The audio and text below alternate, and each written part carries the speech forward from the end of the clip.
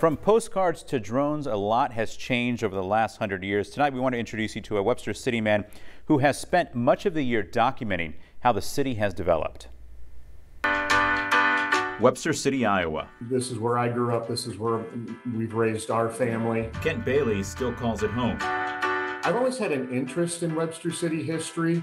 And earlier this year, a local historian had an idea. Hey, I have this bird's eye view uh, of a postcard from 1910. Wouldn't it be neat if you could recreate that and see what it looks like today with your drone? So Bailey, of course, said yes.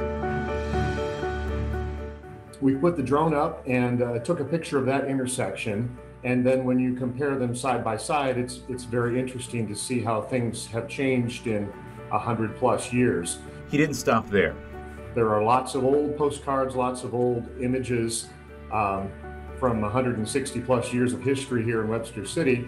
Those images now part of the Webster City Postcard Project, helping revive some old stories and some old characters. He said that his name was Shiloh and that he had been a drummer boy uh, in the Battle of Shiloh from the Civil War.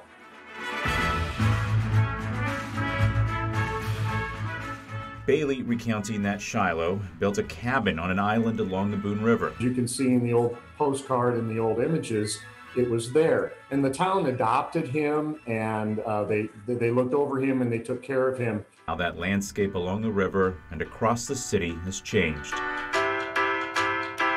And to just realize how many unbelievable things have happened over the years, how many wonderful structures we've had and, and still have. And like those old structures that still stand, Bailey hopes his project will too. In a way, I, I hope that this project is something that in 50 years, someone will look back and say, oh, hey, look what they did back in 2021. Um, now let's see how things have changed again in 50 or 75 or 100 years.